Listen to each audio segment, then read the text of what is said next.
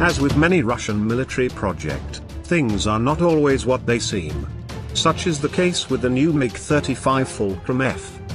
The current iteration of the Mikoyan MiG-35 is not the advanced warplane that India rejected in favor of the French Dassault Rafale in 2011.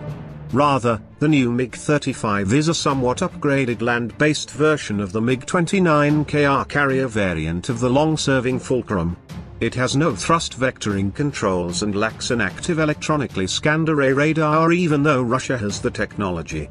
The current plane is essentially an upgrade of the MiG-29KR, a Russian industry source told me. There is no thrust vectoring. And the lack of an AESA radar is of a more cost problem from a procurement standpoint rather than a technical problem. But why the elaborate video conference with Russian President Vladimir Putin if the new fighter is just a rewarmed version of the MiG-29KR? The answer is simple, marketing. Indeed, the entire MiG-35 project has one goal, keep RSK MiG in business. In Russia, there is precedent for such a project. The Sukhoi Su-30M2 project existed solely to keep airframe manufacturer KnAAPO in business.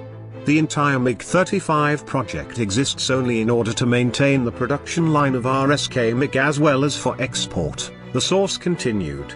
Technical specifications were a secondary factor. The Ministry of Defense wants an AESA radar, but wants it as cheaply as possible. Foreign customers, who can buy MiGs, are still buying the jet without an AESA due to cost factors. The radar that Putin referred to is a mechanically scanned version of the Zhuk rather an AESA. It can follow from 10 to 30 targets at once, and can operate over land or sea.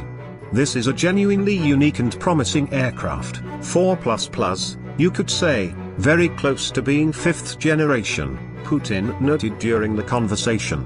However, the radar is not nearly close to being comparable to an AESA. The MiG-35 will eventually enter Russian service, but the aircraft is primarily geared toward export customers, which is why the video conference with Putin focused heavily on foreign sales. The Russian Air Force itself is much more interested in the Flanker series, which are much more capable and versatile aircraft.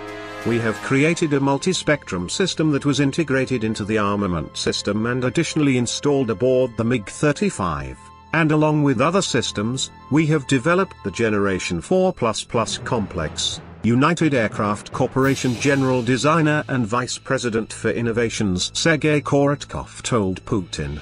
We hope that after the trials, the Defense Ministry will buy this machine and that foreign customers will also come to sign contracts with us.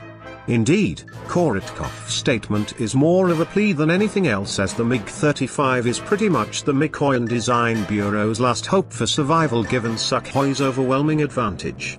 Only time will tell if the MiG-35 Gambit will pay off for RSK MiG, but the deck is stacked against it.